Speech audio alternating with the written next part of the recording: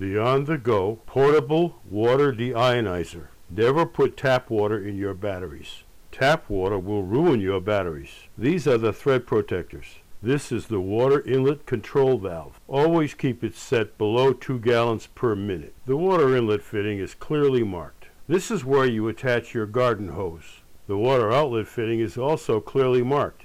This is where you attach your outlet hose. Here are some other views. For servicing batteries or spot-free rinsing of automobiles, the on-the-go water deionizer is the way to go. The on-the-go unit also comes with a Hanna dissolved particles tester. The Hanna testing unit ensures that you will get perfect water every time, whether you are rinsing your car or adding it to your valuable batteries. This is the Hanna Total Dissolved Particles Testing Unit.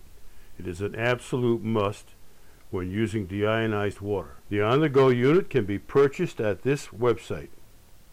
Thank you very much.